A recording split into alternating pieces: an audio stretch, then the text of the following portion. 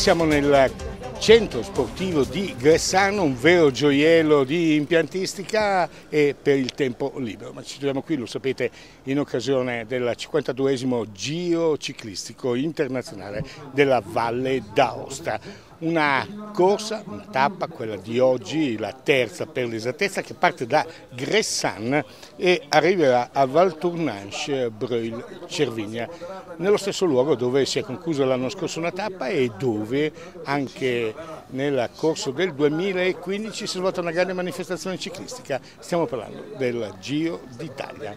Una tappa come sempre particolarmente severa con tre colli, pensate, di prima categoria e naturalmente anche oggi ci sarà da divertirsi. Nel frattempo ospite d'onore a questa partenza un altro grande dello sci eh, italiano, così come la, ieri erano presenti due ragazze, oggi c'è Albarello che ricordiamo campione olimpico a Lillehammer.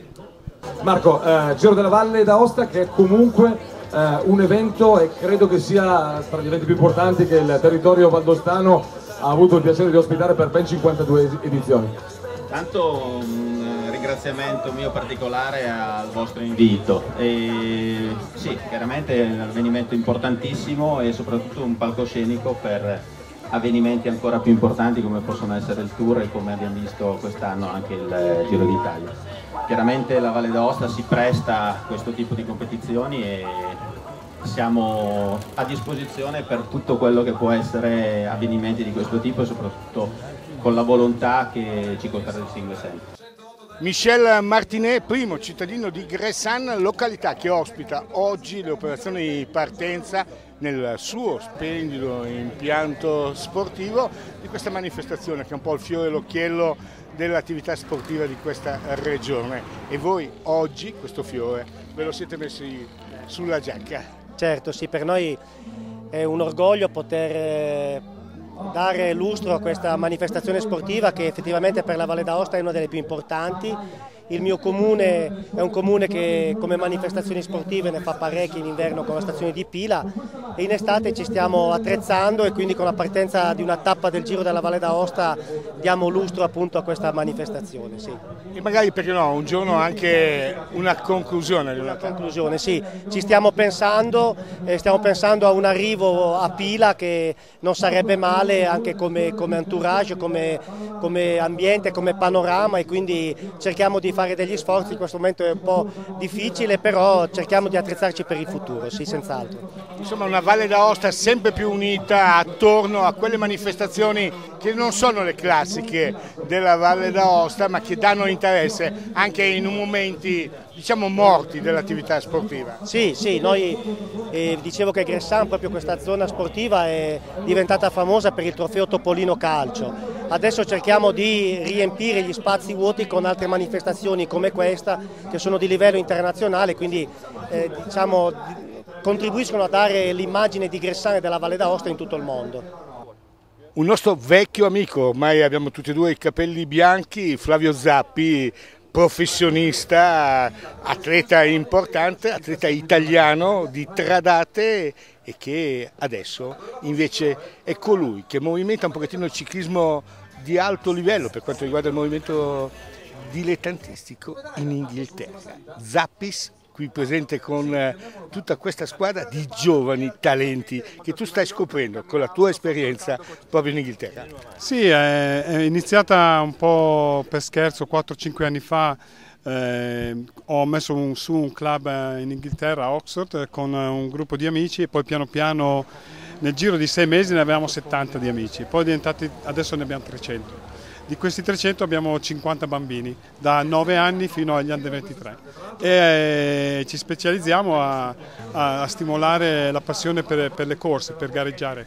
L'anno scorso, come sai, Dan Pearson eh, eh, ha, ha, fatto una, una, bella stagione, quest'anno la Zalf è lì tra i primi, il prossimo anno sarà quel ragazzo lì, James Knox che, che io lo considero il, nuovo, il mio nuovo Dan Pearson per l'anno prossimo.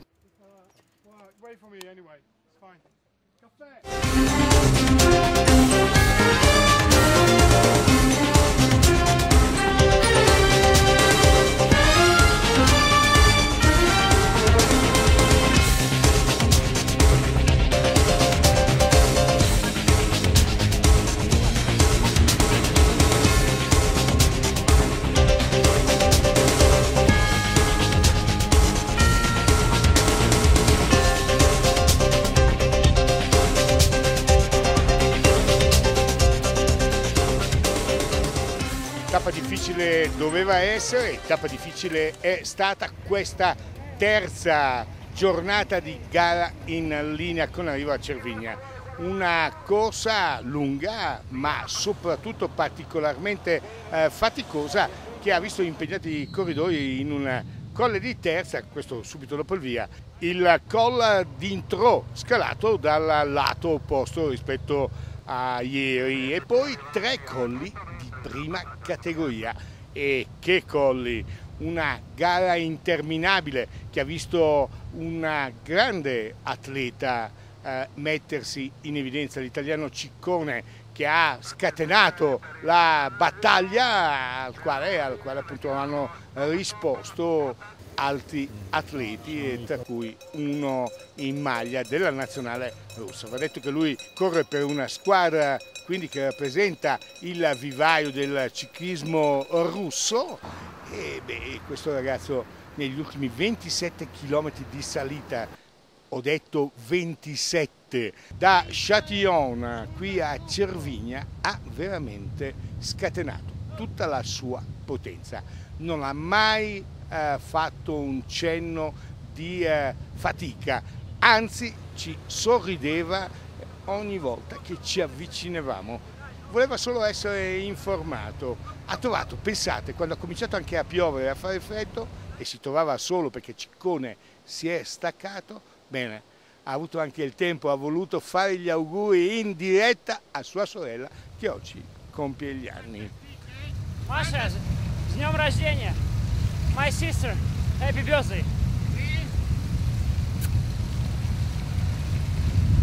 Una corsa, come abbiamo detto, difficile, dove è stato anche protagonista un, corridore, un altro corridore italiano, Rota, ma che poi proprio nel finale non ce la faceva più.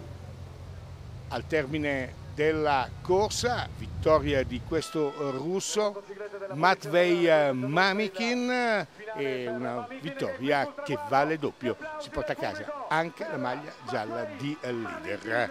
Stendiamo un velo sulla nazionale australiana che non credetemi, non riusciamo a capire. Non si può concedere 10 minuti a atleti che attaccano e poi continuare all'inseguimento e eh, dover arrivare qui con l'acqua alla gola. Me, no bene, finished. Oh, very hard today, very hard. Simone, oggi ancora una corsa dura. Sì, oggi è stata probabilmente la tappa più dura di tutto il giro perché c'erano molte salite. Purtroppo nel finale abbiamo imposto un buon ritmo ma il leader della classifica Power non ha ceduto. Abbiamo ancora due giorni, vediamo di combinare qualcosa di buono. Oggi una tappa devastante a dir poco. Mai sofferto così tanto in vita mia. E... Ho provato a tenere duro ma far tutto il giorno in fuga di una gara così già dopo diverse fatiche non è facile. Il russo andava veramente forte e ho provato a tenere duro e poi gestirmi sul finale ma diciamo che va bene così, sono veramente devastato. Complimenti soprattutto per questa dichiarazione. Grazie, grazie mille, grazie mille. Я ожидал...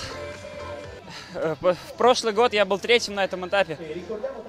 Э, мне помогла моя сестра, у нее сегодня день рождения, поэтому я хотел сделать ей сюрприз. Я поздравляю тебя, Маша. Всего тебе самого лучшего. Еще я хочу посвятить победу Артему Нычу, он вчера упал. Так что я отомстил за всех, так сказать. Давай Timo, выздоравливай. Tappa era terza e sognava vincere oggi.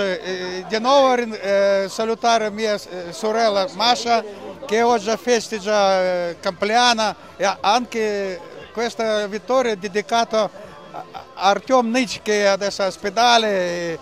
Voglio dire che tutto va bene, andiamo avanti.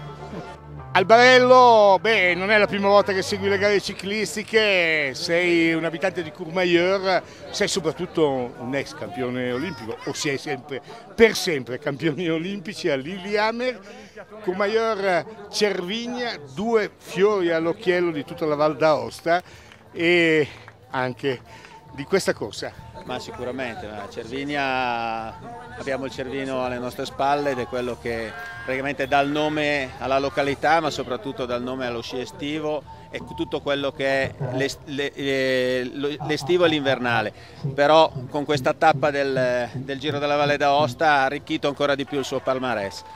Courmayeur non è da meno, perché ha il Monte Bianco è la montagna più alta d'Europa, perciò eh, abbiamo tante cose in comune come Valle d'Aosta e molti posti da visitare ed essere contenti di viverci. E sei stato contento di assistere a questa gara? Impressionanti questi ragazzi su queste strade? Sono stato contentissimo perché soprattutto impressionato dopo il Col del Core venire, venire in giù in mille metri, mille metri l'hanno fatto in eh, nove minuti e mezzo e e poi sono stato impressionato dal russo quanto ha, ha, ha aumentato il ritmo ed è arrivato qua a Cervinia prendendosi la maglia gialla.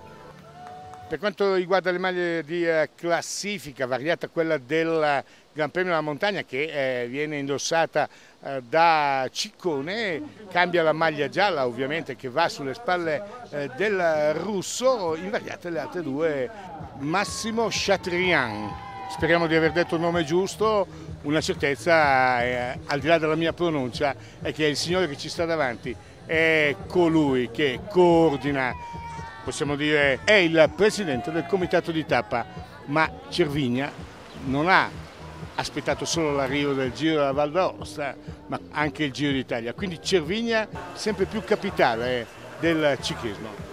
Cervigna si propone sempre più come capitale del ciclismo, siamo partiti nel 2012 con la tappa con arrivo a Cervigna, abbiamo proseguito nel 2015, stiamo già andando avanti. Nel 2017 ci riproporremo nuovamente come località di tappa per i cent'anni del Giro d'Italia.